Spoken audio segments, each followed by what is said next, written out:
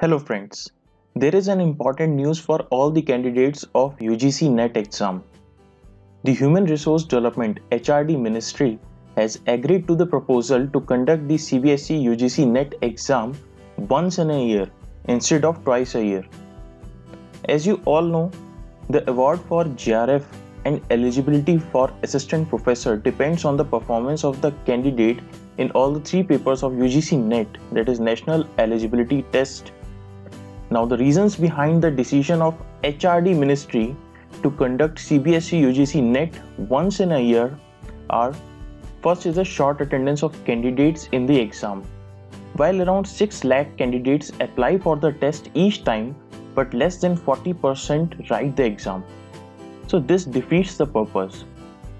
Another reason is CBSE wrote to the HRD ministry earlier this year expressing its inability to conduct the exam. CBSE said that two rounds of NET exam takes almost 10 months of the calendar and effectively hampers their efforts in other areas, especially the school regulation and observation, which is their core function. There is no official confirmation on the dates of declaration of January 2017 NET exam results and there is no official confirmation regarding notification of July NET exam application. But it is expected to get the notification on or before 10th of June 2017. So the candidate should not miss this opportunity. Otherwise, candidates have to wait for one year.